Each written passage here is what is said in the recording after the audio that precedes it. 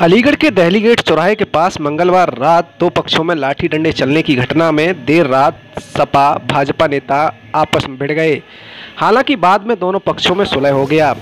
हुआ यूँ कि देर रात झगड़े के बाद एक पक्ष के समर्थन में सपा के कुछ नेता व दूसरे समर्थन में भाजपा के कुछ नेता पहुँच गए। थाने में दोनों के बीच बातचीत के दौरान तू तू मैं शुरू हो गई।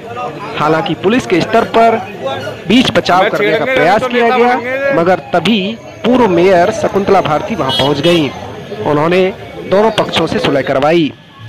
इस दौरान थाने में जो हंगामा हो रहा था उसको कवर कर रहे मीडिया कर्मियों को भी भाजपाइयों ने नहीं बख्शा। तो क्या अब थाने चौकी भाजपा के इशारे पर चलेंगे?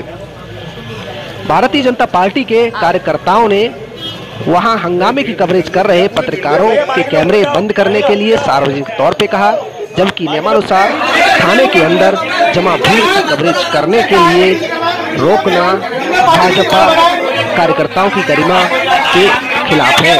देखिए, भाजपा नेताओं ने किस तरह मीडिया कर्मियों से अभद्रता की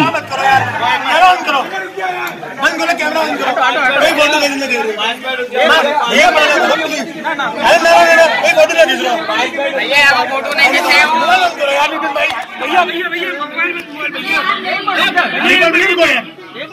तू मेरी कसम है फालतू नहीं कोई डोंग नहीं कोई डोंग नहीं मेरी कसम मानी मेरी कसम है मेरी नहीं कोई डोंग नहीं नहीं कोई